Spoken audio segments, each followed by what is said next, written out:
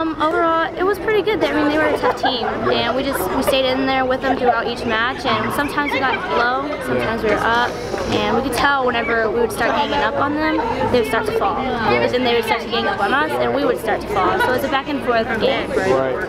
Yeah, how were you guys able to, because it looked like they were going to run away at times, especially in that third one, you guys were able to keep coming back. How were you able to do it? Uh, we stayed together. We talked about it in the huddle. We just wanted to stay together and stay play as a team, and we needed our passes, our sets, and our hits, and they started to flow, and that's how we started to stay together and play as a team. And how are you going to remember uh, this season, especially Coach first with Coach Stoller? It's gonna be a really memorable one. Um, I'm gonna remember it as fun. That's all we had was fun. Every part, every day, every hour, we had fun. Practice, games, bus rides.